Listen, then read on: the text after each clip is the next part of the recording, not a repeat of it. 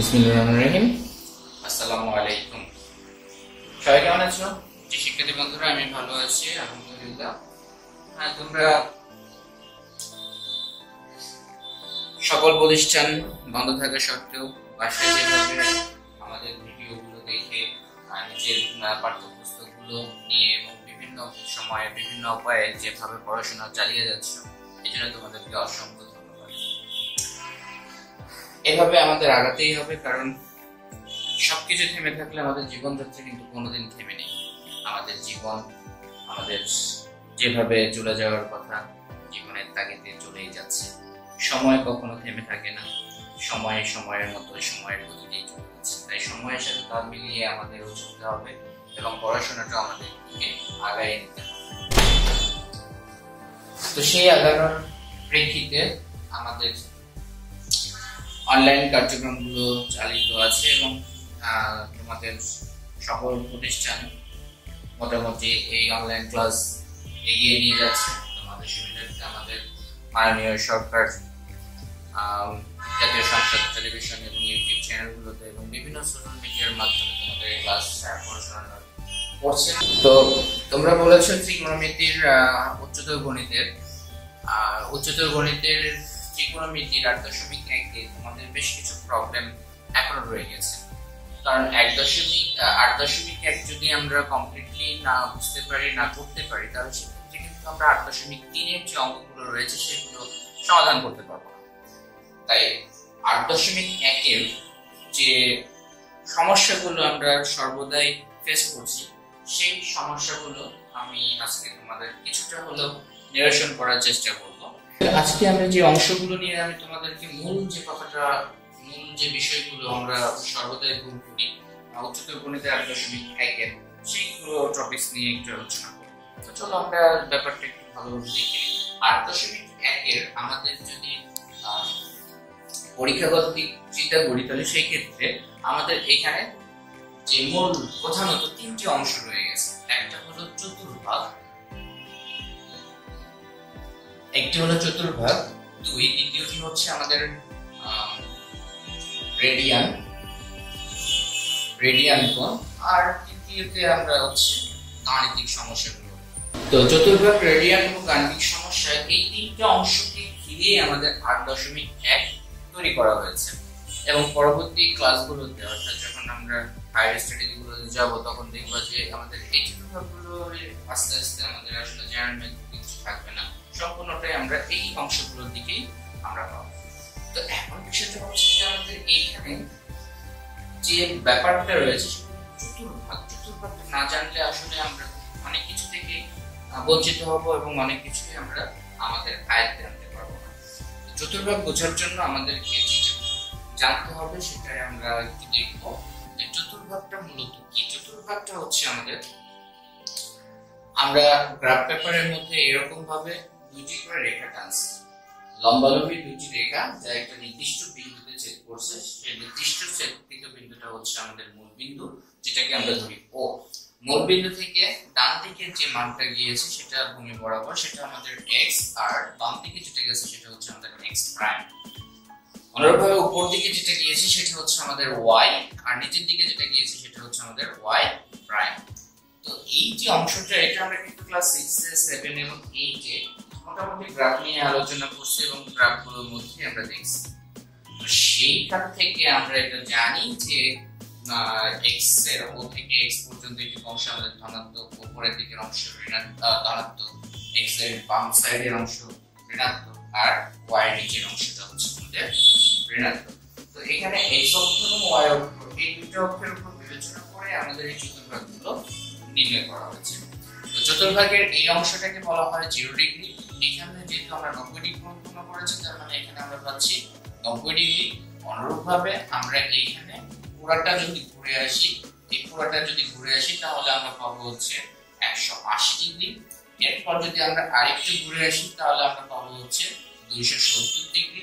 এবং আমরা যদি আরেকটু ঘুরে এখানে চলে আসি, তাহলে আমরা পাবো তিনশো ষাট আর আমরা জানি একটি বৃত্তের টোটাল উৎপন্ন কোণ হচ্ছে তিনশো ষাট ডিগ্রি। তো এই তিনশো ষাট ডিগ্রিটাকে আমরা চারটি ভাগে ভাগ করে আমরা যে চারটা ঘর পেলাম, এই চারটা ঘরকে আমাদের বলা হয় তো এই ঘরগুলোর ঘড়ির কাটার বিপরীত দিক থেকে শুরু করে যে ঘরগুলো আসে, সেই ঘর অনুসারে যদি আমরা সাজাই, তাহলে এটাকে আমরা প্রথম চতুর্ভাগ, এটা আমাদের দ্বিতীয়, এটা আমাদের তৃতীয়, এটা আমাদের তো এরকম ভাবে আমরা মানগুলো নির্ণয় করেছি এবং পেয়েছি। তো এটার উপর ভিত্তি করে আসলে আমাদের যে মানগুলো আমরা পেয়েছি যে প্রথম চতুর্ভাগে যারা আছে তাদের সবাইকেই বলা হয়। ধনাত্মক দ্বিতীয় চতুর্ভাগে যে আছে তাকে আমরা বলি সাইন তৃতীয় চতুর্ভাগে যে আছে তাকে আমরা বলি ট্যান আর চতুর্থ চতুর্ভাগে যে আছে তাকে আমরা বলি তো এটাকে আমরা সহজ ভাষায় এভাবে বলি all sine tan cos all প্রথম চতুর্ভাগ সাইন দ্বিতীয় চতুর্ভাগ ট্যান তৃতীয় চতুর্ভাগ কজ হ্যাঁ এইখানে সাইন কেন আসলো, এখানে কজ কেন আসেনি? এখানে ট্যান আসলো, কেন ট্যান আসেনি? এটা আমরা পরবর্তী ক্লাসে তোমাদেরকে আলোচনা করব। তো আজকে আমার যে আলোচনাটা, সেই আলোচনাটা হচ্ছে যে প্রথম চতুর্ভাগটা কি? চতুর্ভাগ যে আমরা পেলাম, এই চতুর্ভাগগুলোর কাজ আমরা জাস্ট এই কাজগুলো নিয়ে আজকে একটু দেখব। আর এই ঘরটা কেন সাইন হয়েছে? এই ঘরটা কেন ট্যান হয়েছে? এটা কেন কজ হলো? এখানে সাইন কেন হলো না? এখানে ট্যান কেন হলো? এই বিষয় নিয়ে আমরা আলোচনা করব আমাদের পরবর্তী ক্লাসে। তো এখন জন্য আমরা আসলে চতুর্ভাগের কাজগুলো দেখে চতুর্ভাগের কাজটা হচ্ছে যে আমাদের এখানে যে কোণটা আমরা পেলাম, যে এটা হলো আমাদের প্রথম চতুর্ভাগ। প্রথম চতুর্ভাগের মধ্যে দেখো, আমরা এমনিতে জ্যামিতিক ত্রিকোণমিতিগুলোর মধ্যে তিরিশ ডিগ্রি, পঁয়তাল্লিশ ডিগ্রি এবং ষাট ডিগ্রি তিনটা মান পেয়েছিলাম, যেটাকে আমরা বলছিলাম এখন এই পর্যন্ত কিন্তু সীমাবদ্ধ ছিল না। যদিও আমাদের জ্যামিতিতে এই পর্যন্ত সীমাবদ্ধতা রেখেছে। জিরো থেকে নব্বই ডিগ্রি পর্যন্ত এক সংখ্যক নিয়ে তারা কাজ করেছে। এখন যদি আমরা দুই সংখ্যক নিয়ে কাজ করি, তাহলে এরকম মান আমরা আরও পাবো। অর্থাৎ এখানে যেমন তিরিশ, পঁয়তাল্লিশ, ষাট পেয়েছি, তাহলে এখানে আমরা পাবো একশো তেইশ একশো পঁয়ত্রিশ এবং একশো পঞ্চাশ।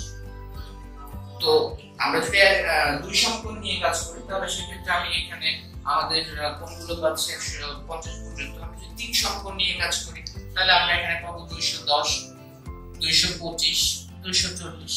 আমি যদি চারটা সমকোণ নিয়ে কাজ করি, তাহলে আমরা এখানে পাচ্ছি হচ্ছে তিনশো তিনশো পনেরো এবং তিনশো তিরিশ তাহলে আমাদের এই জায়গায় মোটামুটি সূক্ষ্ম কোণগুলোর বিবেচনা যে মানগুলো আমরা জানি, তাহলে এরকম অবস্থা আমরা পাচ্ছি।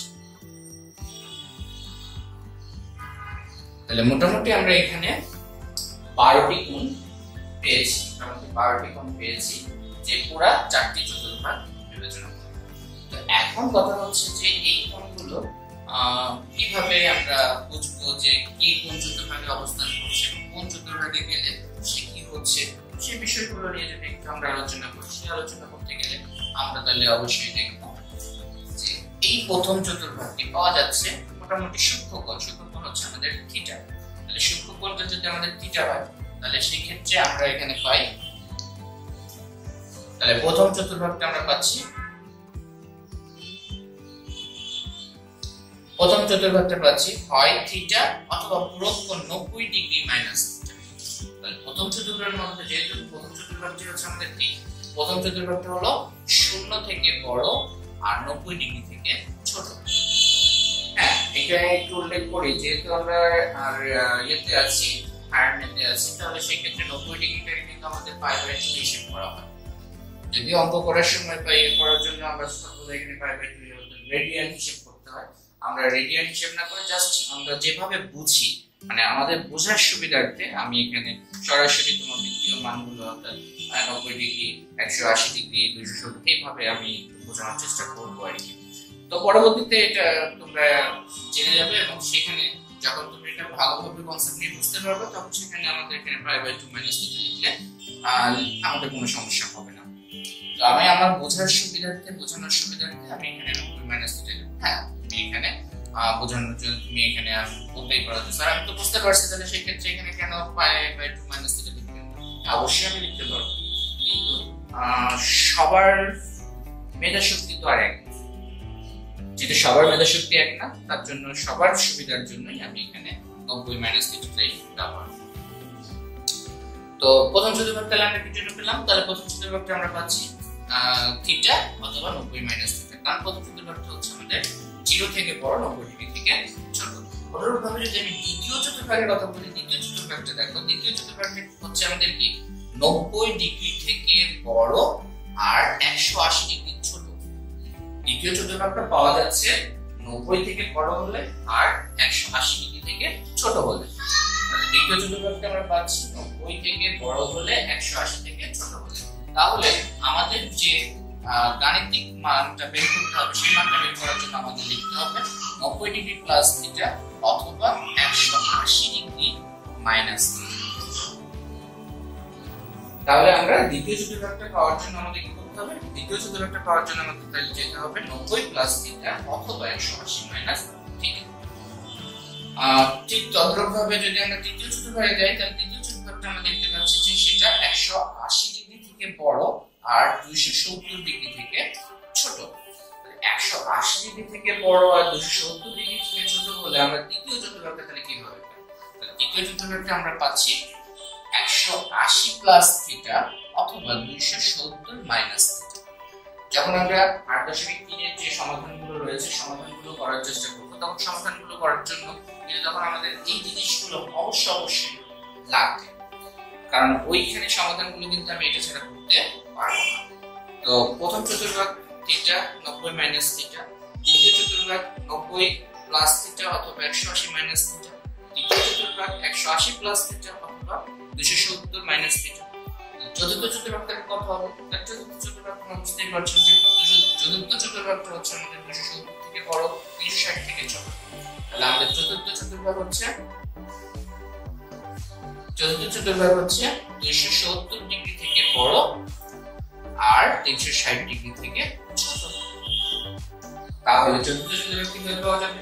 তাহলে আমরা চতুর্থ চতুর্ভাগ পাবো হলো দুইশো সত্তর দুইশো সত্তর প্লাস থিটা অথবা তিনশো ষাট মাইনাস থিটা চতুর্থ চতুর্ভাগ পাওয়া যাচ্ছে আমাদের দুইশো সত্তর প্লাস থিটা করে অথবা তিনশো ষাট মাইনাস থিটা তাহলে নিশ্চয়ই বুঝতে পারছ যে আমাদের চতুর্ভাগগুলো কীভাবে সজ্জিত রয়েছে এবং চতুর্ভাগগুলোর মান কীভাবে কীভাবে আমরা পাবো। হ্যাঁ যদি আমাদের এখানে তোমরা বলো যে নব্বই নব্বই হ্যাঁ নির্দিষ্ট নির্দিষ্ট মান রয়েছে। কিন্তু আমার তো এখানে থিটা ব্যবহার করা হচ্ছে, কারণ আমি তো নব্বই ছোট কোণ ব্যবহার করছি। অথবা একশো আশি বড় অথবা একশো আশি ছোট কোণ ব্যবহার করছি। তার জন্য আমাদের এখানে এই জিনিসগুলো অবশ্যই লাগবে। তো এই জন্য এটাকে লেখা হয় n into ninety degree plus theta n into ninety degree plus তো এই অংশটাই মূলত আমাদের এই চতুর্ভাগ বের করার সহজ পদ্ধতি বা সহজ নিয়ম। তো n into ninety degree plus theta এই মানটার উপর ভিত্তি করে কিন্তু আমাদের চতুর্ভাগ কে কোন চতুর্ভাগে অবস্থান করছে কে কোন চতুর্ভাগে প্লাস থিটা হতে পারে আবার মাইনাস থিটা হতে পারে। তো আমরা এটাকে এভাবে লিখতে পারি যে n into ninety degree plus minus তো এখানে আবার আমরা একটা জিনিস পাই, সেটা হচ্ছে জোড় কোণ আর হলো বিজোড় কোণ এখানে আমরা একটা জিনিস পাচ্ছি, সেটা হলো কি? জোড় কোণ আর হলো বিজোড় কোণ তো একটু দেখে নিই, আসলে জোড় কোণ আর বিজোড় কোণ বলতে আমরা কি বুঝতে পারছি? তাহলে চতুর্ভাগ বের করার জন্য আমাদের সাধারণ নিয়ম কোনটা? সাধারণ নিয়ম হচ্ছে আমাদের tan negative plus minus আমি উদাহরণে যাব। উদাহরণ আচ্ছা একটা উদাহরণ আমরা দিয়ে তারপরে আমরা জোড় বিজোড়ের ব্যাপারটা দেখি। জোড় বিজোড়ের ব্যাপারটা আমরা একটু পরে দেখছি। আমরা আগে উদাহরণটা দেখে নিই যে আসলে আমরা এটা কীভাবে আসব নিশ্চয়ই বুঝতে পারছ যে আমাদের চতুর্ভাগগুলো কীভাবে নির্ণয় করতে হয়? তাহলে চতুর্ভাগ নির্ণয় করার জন্য আমাদের এই জিনিসটা লাগবে tan into 90 degree plus minus theta তাহলে tan into 90 degree plus minus থিটার উপর ভিত্তি করে এখন যদি আমি একটা কোণ নেই যে ধরো 1050 কত নিলাম? 1050 ধরো আমি এখানে নিলাম এক হাজার পঞ্চাশ। এটা কোন চতুর্ভাগে অবস্থান করছে? তো এটা করার জন্য সর্বদা আমাদের কাটার তাহলে সেক্ষেত্রে আমরা আমাদের চতুর্ভাগ ছিল সবগুলো ঘুরে এসেছি। তো এই জন্য ঘড়ির কাটার বিপরীত দিকের অংশটাকে বলা হয় ধনাত্মক কোণ, আর ঘড়ির কাটার দিকে যদি আমরা ঘুরি তাহলে সেক্ষেত্রে আমরা সেটাকে বলব ঋণাত্মক। তো যাক, এখানে আমরা ওটা ঋণাত্মকই আমরা পরে আসতেছি। এক হাজার পঞ্চাশ, এক হাজার পঞ্চাশ কোন চতুর্ভাগে অবস্থান করছে। এটা বের করার জন্য তোমাকে যে কাজটা করতে হবে, সেই কাজটা হলো, এটাকে আমি নব্বই দিয়ে ভাগ করে দাও তাই নব্বই ডিগ্রি দিয়ে ভাগ করে নিলে আমরা পাচ্ছি এক, নব্বই। পনেরো তখন আবারও এক তাহলে শূন্য ষাট। তার মানে হাজার পঞ্চাশটি হচ্ছে এগারো ইন্টু নব্বই প্লাস ষাট। এই ষাটটাই হচ্ছে আমাদের মূলত থিটা। তাহলে এগারো প্লাস নব্বই, এগারো সরি এগারো ইন্টু নব্বই প্লাস ষাট ডিগ্রি। তাহলে এগারো ইন্টু নব্বই প্লাস ষাট ডিগ্রি। তাহলে আমাদের এখানে এগারোটি সমকোণ রয়েছে। আর এগারোটি সমকোণের সাথে আমাদের প্লাস থিটা রয়েছে। তাহলে আমাদের চতুর্ভুজ নির্ণয় সূত্রটা কি দেখেছিলাম? আমাদের চতুর্ভুজ নির্ণয় সূত্রটা লিখেছিলাম n into 90 degree plus minus তাহলে এই অনুসারে, এই অনুসরণ করে যদি আমরা এখন বিষয়টা সাজাই, কারণ আমরা আগে দেখলাম যে আমাদের প্রথম চতুর্ভুজ বের করার জন্য শুধু থিটা অথবা 90 degree minus theta 90 degree minus theta তাহলে 90 ডিগ্রি মাইনাস থিটা মানে কি? 90 ডিগ্রি মাইনাস থিটা তাহলে 90 ডিগ্রি পিছনে তার মানে 1 আছে, তাহলে এর মানে কিন্তু 1 একইভাবে যদি আমরা দ্বিতীয় চতুর্ভাগের কথা বলি, তাহলে দ্বিতীয় চতুর্ভাগের ক্ষেত্রে আমরা কি পাচ্ছি একশো আশি মাইনাস থিটা তাহলে একশো আশি মানে কত? টু ইন্টু নাইনটি ডিগ্রি তার মানে টুটা হচ্ছে আমাদের কি? কি, ব্যাপারটা কি বুঝতে পেরেছ? তাহলে two N into ninety degree plus minus theta এই প্লাস মাইনাস থিটাটাই আসলে আমাদের এই চতুর্ভাগকে নির্দেশ করছে। তাহলে চতুর্ভাগ নির্দেশ করার জন্য আমাদের এই অংশটা অবশ্যই দরকার এবং এটা আমাদেরকে করতে তাহলে এখন বলো যে এক হাজার পঞ্চাশ এটা কোন চতুর্ভাগে অবস্থান করছে? তাহলে এক হাজার পঞ্চাশ কোন চতুর্ভাগে অবস্থান করছে সেটা বোঝানোর জন্য তাহলে আমাদের এখানে অবশ্যই চতুর্ভাগ নির্ণয় করতে হবে। তাহলে আমরা চতুর্ভাগে নির্ণয় করলাম। এখন দেখো, কতগুলো নব্বই ডিগ্রি আছে? এগারোটি নব্বই ডিগ্রি আছে। কতগুলো নব্বই ডিগ্রি? এগারোটি নব্বই ডিগ্রি। তাহলে এখান থেকে এখানে গেলে কয়টা পাওয়া যায়? একটা, দুইটা, তিনটা, চারটা। পাঁচটা, ছয়টা, সাতটা, আটটা, নয়টা, দশটা, এগারোটা। আমরা এগারোটি নব্বই ডিগ্রি পেলাম এরপরে রয়েছে প্লাস ষাট। তাহলে এই পর্যন্ত ঘুরে এসে আমি এটা পেলাম। তাইলে আমি প্লাস ষাট, তাহলে এই ঘরটাই হচ্ছে আমার এক হাজার পঞ্চাশ তাহলে এক হাজার পঞ্চাশের এই ঘরটা কত?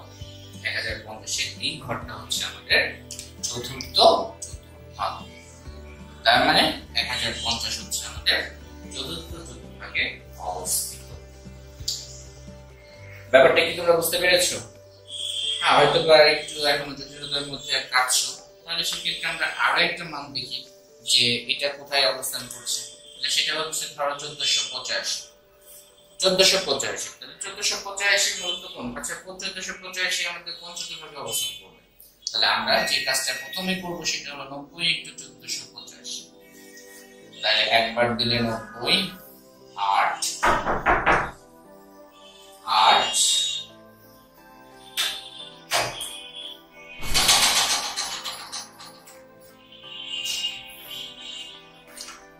এখানে পাঁচ ফাইভ তাহলে আমরা এখানে দেখতে পাচ্ছি যে একটা নব্বই দেখলে আমরা এটা পাচ্ছি। তাহলে এখান থেকে আমাদের বাকি মানটা ছয়, পাঁচ চুয়ান্ন। পঁয়তাল্লিশ। তার মানে চোদ্দশো পঁচাশি, চোদ্দশো পঁচাশিটা আমাদের কোথায় আছে? চোদ্দশো পঁচাশিটা হচ্ছে আমাদের ষোলো ইন্টু নব্বই প্লাস পঁয়তাল্লিশ। তাহলে দেখো, এখানে এন এর মানটা কত? এখানে এন এর মানটা হচ্ছে আমাদের ষোলো। তাহলে এন এর মান যেহেতু আমরা এখানে ষোলো পেয়েছি, তাহলে এখন আমরা চতুর্ভাগ কোথায় আছে সেটা আমরা নিশ্চয়ই বুঝতে পারব। তাহলে আমাদের চতুর্ভাগটা অবস্থান করছে। তাহলে এখান থেকে একটা, দুইটা, তিনটা, চারটা। তার মানে একবার ঘুরে আসলে চার আরেকবার ঘুরে আসলে আট, আরেকবার ঘুরে আসলে বারো, আরও একবার ঘুরে আসলে আমরা পাচ্ছি ষোলো। তাহলে এতটুকুর মান আমরা পাচ্ছি এইখানে, অর্থাৎ ষোলো সমকোণ। তো ষোলো সমকোণের সঙ্গে রয়েছে কত? প্লাস থিটা, অর্থাৎ এইটা। প্লাস থিটা মানে পঁয়তাল্লিশ ডিগ্রি। পঁয়তাল্লিশ ডিগ্রি আমরা তাহলে এখানে যাব। এই হচ্ছে আমাদের মাঝামাঝি। চোদ্দশো পঁচাশি ঘরটা আমাদের কোথায়? চোদ্দশো পঁচাশিটা হচ্ছে আমাদের প্রথম চতুর্ভাগে। তাহলে তোমরা নিশ্চয়ই বুঝতে পারছ যে আমাদের চতুর্ভাগগুলো কীভাবে বের করা হচ্ছে। তাহলে চতুর্ভাগ নির্ণয়ের জন্য আমাদের মূল যে সূত্রটা রয়েছে, সেই সূত্রটা হচ্ছে n into 90 degree plus minus কারণ আমরা তোমাদের প্রথম চতুর্ভাগ, দ্বিতীয় চতুর্ভাগ, তৃতীয় চতুর্ভাগ এই ব্যাপারগুলো ভালোভাবে দেখিয়েছি। তাহলে n into 90 degree plus minus থিটার এটার উপর ভিত্তি করেই কিন্তু আমাদের চতুর্ভাগগুলো বের করতে হবে। আচ্ছা এখন আমাদের আরেকটা প্রশ্ন ছিল যে আমাদের মাইনাস যদি দেওয়া থাকে, যে মাইনাস পঁচিশশো এটা কোন চতুর্ভাগে অবস্থান করে? এখানে একটা মাইনাস দেওয়া আছে। তো তোমাদেরকে তো আগেই বলেছি যে মাইনাস যেখানে থাকবে, সেখানে আমাদের কি আসবে? ঘড়ির কাটার দিক ব্যবহার করতে হবে। আর ঘড়ির কাটার দিক কেন ব্যবহার করতে হবে আর কেন ব্যবহার করতে হবে না, সেটা যদি আমরা বলি, কারণ তোমরা জানো এই দিকে যে মানটা পাওয়া যায়, সেই মানটা প্লাস আর এই দিক থেকে যে মানটা পাওয়া যায়, সেই মানটা হচ্ছে প্লাস তাহলে এই পাশে আমরা প্লাস পেলাম, এই পাশে প্লাস পেলাম। তাহলে শুরুটা কিন্তু এই দিক থেকে তাহলে এই শুরুটা যেহেতু এই দিক থেকে হচ্ছে, তাই এই অংশটাকে ধরা হয় প্লাস আর যখন আমরা নিচের দিকে যাব, নিচের দিকে আমরা মাইনাস তাই এই অংশটা কিন্তু মাইনাস থেকে শুরু হচ্ছে।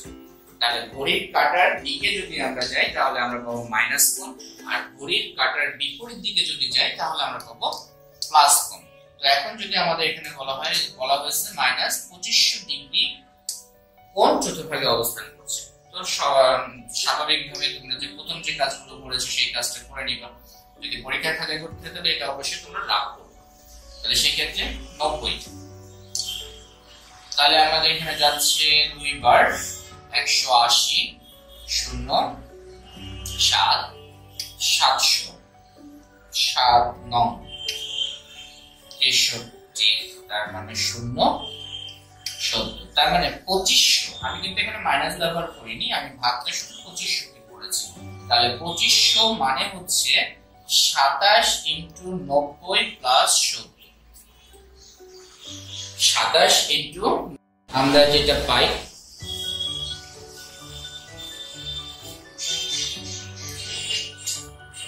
তাহলে পঁচিশশো মানে হচ্ছে সাতাশ ইন্টু নব্বই প্লাস সত্তর যেহেতু এখানে এখানে মাইনাস ব্যবহার করা হয়েছে, তাহলে আমি পুরো অংশটার আগে মাইনাস তাহলে এখানে কতগুলো সমকোণ রয়েছে? এখানে সমকোণ রয়েছে আমাদের প্রায় সাতাশটা। কিন্তু সাতাশের আগে কিন্তু আমাদের কি দেওয়া আছে? মাইনাস দেওয়া আছে। তাহলে মাইনাস দেওয়া থাকলে আমরা যাব ঘড়ির কাটার দিকে। শুরুটা এখান থেকে শুরু হবে। তাহলে কতগুলো? সাতাশটা। তাহলে এক, দুই, তিন, চার। একবার ঘুরে আসার জন্য চার পেয়েছি। আর একবার ঘুরে আসলে আট, বারো, ষোলো, বিশ, চব্বিশ, পঁচিশ, ছাব্বিশ, সাতাশ।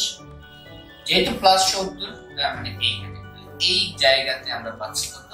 আমাদের পঁচিশশো তাহলে মাইনাস পঁচিশশো ডিগ্রি তাহলে আমাদের কোন চতুর্ভাগে পড়ছে মাইনাস পঁচিশশো ডিগ্রি আমাদের পড়তেছে। প্রথম। তাহলে নিশ্চয়ই বুঝতে পারছ আমাদের চতুর্ভাগ বিষয়টা হয়তো যাদের যাদের প্রবলেম ছিল, তাদের মোটামুটি ক্লিয়ার হয়েছে। হ্যাঁ যখন তোমরা অঙ্ক করবে, তখন কিন্তু সেটা আমি প্রথমে বলেছি আবার বলতেছি, তখন কিন্তু আমরা নব্বই ব্যবহার করব না। নব্বই এর জায়গাতে আমরা ব্যবহার করব পাই বাই টু আবার সত্তর ব্যবহার করব না সত্তরের জায়গায় আমরা ব্যবহার করব কত? সত্তর ইন্টু পাই বাই একশো আশি, তার মানে সেভেন সেভেন পাই বাই আঠারো। অর্থাৎ সর্বদা এখানে রেডিয়ান ব্যবহার তো সেক্ষেত্রে আমরা সাতাশ into pi by two plus seven pi by আঠারো। এটাই হচ্ছে আমাদের মাইনাস এখন একটা বিষয় যেটা নিয়ে আমরা তোমাদেরকে প্রথমে বলেছিলাম যে এখানে একটা জোড় এবং বিজোড় বিবেচনা করতে হয়। জোড় আর বিজোড় বিবেচনাটা আমরা কীভাবে করব? চতুর্ভাগ যখন আমরা চিন্তা করি, তাহলে এখানে পাচ্ছি জিরো ডিগ্রি, এখানে পাচ্ছি নাইনটি ডিগ্রি, এখানে পাচ্ছি একশো আশি ডিগ্রি, এখানে পাচ্ছি দুশো সত্তর, আবার ফিরে আসলে আমরা পাচ্ছি তিনশো ষাট। এখন দেখো তো সবগুলো কি? সবগুলো যেহেতু জিরো আছে সবাই জোড় তাহলে এখানে তো বেজোড় করার কোনো কথা নেই। কিন্তু এখানে একটা ব্যাপার রয়েছে, সেটা হচ্ছে আমরা ক্ষেত্রে। যদি এখান থেকে এখানে যাই, তাহলে আমরা পাচ্ছি এক এখানে যখন আসি, তখন পাচ্ছি দুই সমকোণ এখানে যখন তখন পাচ্ছি তিন সমকোণ এখানে যখন যাচ্ছি, তখন পাচ্ছি চার সমকোণ ব্যাপারটা দেখো, আবার যদি ঘুরে আসি, তাহলে পাচ্ছি পাঁচ সমকোণ আবার যদি ঘুরে আসি, তাহলে ছয়। এখানে পাচ্ছি সাত, এখানে পাচ্ছি আমরা আট। তো ব্যাপারটা কি হচ্ছে? আমরা এখানে পাচ্ছি সব রকমের মেজর, এখানেও পাচ্ছি সব রকমের বেজোড় দেখো, এক, তিন, পাঁচ, সাত। তারপরটা পাবো আমরা নয়, এখানে পাবো আমরা এগারো। অনুরূপ ভাবে যদি আমরা এই বরাবর চিন্তা করি, তাহলে দেখো, দুই পাচ্ছি, চার পাচ্ছি, ছয় পাচ্ছি, আট পাচ্ছি। তার মানে তারপর একটা পাবো এখানে দশ, এখানে পাবো কত? বারো। তাহলে এই বরাবর যে ঘরগুলো পাচ্ছি, সেগুলো কিন্তু আমরা জোর ঘর পাচ্ছি মানে জোর সমকোণ, যেটাকে আমাদের বলা হয় জোর সমকোণ। আর এইদিকে যেটা পাচ্ছে সেটা আমাদের বিজয় সমকোণ। তো এই জোর এবং বিজয় সমকোণের জন্য এটাকে আমরা সহজ ভাষায় বলব এক্স অক্ষে যে কোণটা পাওয়া যায় সেটা জোর ওয়াই অক্ষে যে কোণটা পাওয়া যায় সেটা বেজোড়